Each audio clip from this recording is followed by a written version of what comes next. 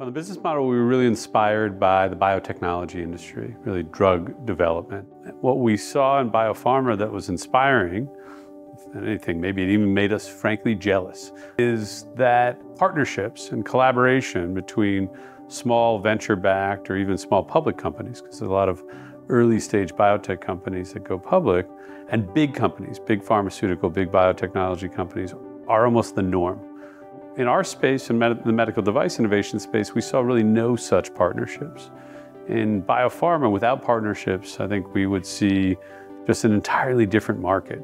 I think one of the key parts about Orchestra is that collaboration with our partners who have a long history, who have infrastructure, who have technology, who have experienced people, who understand the marketplace, and bringing new things through their eyes, which they're going to have to eventually commercialize, brings a huge new additional collaboration that is incredibly satisfying. All of those royalty uh, based companies are focused in the uh, pharmaceutical space, biotech and pharmaceutical space.